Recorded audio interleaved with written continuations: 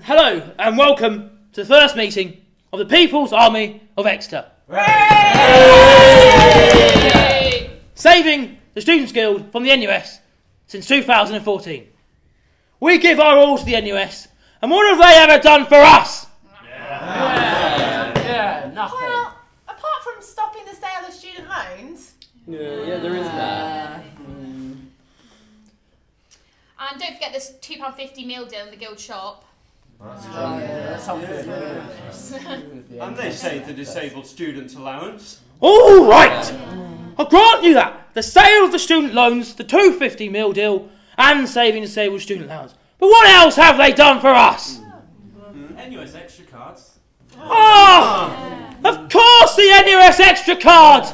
The 10% off on Co-op and the 50% off Pizza Express, it's rubbish anyway! What have they done for us, really? They stopped us paying council tax. Oh, yeah, yeah, yeah, they did. And, and they do give the guild £189,000 a year. Uh, that's useful. Alright! Apart from the sale of student loans, the 250 meal deal, saving DSA, the NUS Extra card, giving the guild 189 grand a year, and stop us paying council tax, what have the NUS done for us? Giving us a national voice. Shut up, Elliot!